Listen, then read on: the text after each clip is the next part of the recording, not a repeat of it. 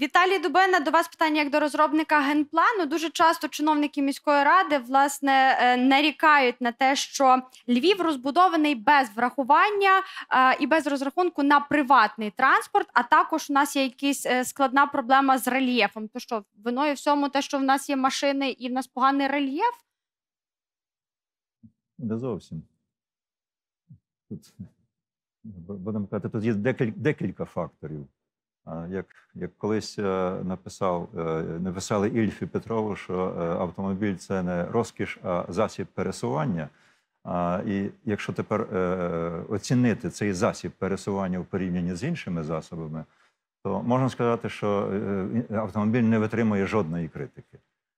Якщо взяти, ну, транспортники вже порахували, що якщо в транспортному потоці, коли їдуть автомобілі по вулиці, в кожному автомобілі повна заповненість 4 пасажири, ну, водії і 3 пасажири.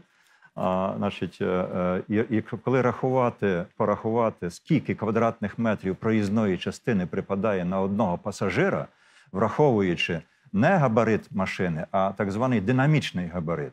Тобто е, е, машина плюс ще та відстань, той тормозний шлях, е, між е, який розрив повинен бути між машинами. То, Тобто нам е, треба на зменшувати одного- кількість автомобілів, ви маєте на, одно, на одного пасажира виходить 60 квадратних метрів проїзної частини. Коли взяти трамвай, то е, на одного пасажира виходить 4 квадратних метри, 4 квадратних метри проїзної частини. Тобто ефективність автомобільного транспорту в 15 разів менша, ніж е, е, автомобільного, ніж ну, проїзд в індивідуальному Дивіться, ну це якісь такі речі, на які неможливо вплинути. А як? Ну тобто, що робити? Впроваджувати платні дороги, чи що як мотивувати людей, так якщо в них є така можливість не купувати собі автівки? Як взагалі можна вплинути на кількість автомобілістів на вулицях Львова? Це ж по суті неможливо. А, Значить, е, ну, ми, ми е, наш інститут е, містопроект займається містобудівним проєктуванням, розроблею ге- генеральних планів міста Львова з 80-го до 2010 року. Ми розробили два генеральних плани вже, і в кожному генплані констатується ну, е, існуюча ситуація. На початку роботи в нас було 56 машин на тисячу мешканців. А в 92-му році, перед затвердженням е, генплану, е, значить, ми обновили базу вихідних даних, було вже 100 машин на тисячу. А в 2008 році було 160 машин на тисячу. У 2010-му? В 2008 У 2010 А в 10-му? не знаю. Ми не обновляли даних. Але зараз на даний час е, е, оцінюється рівень автомобілізації 250 машин на тисячу.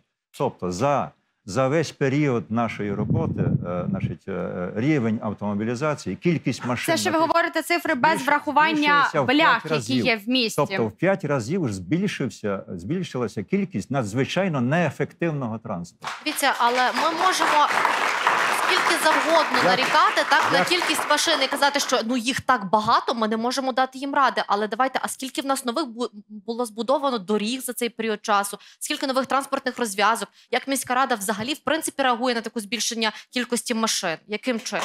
По суті, ніяким.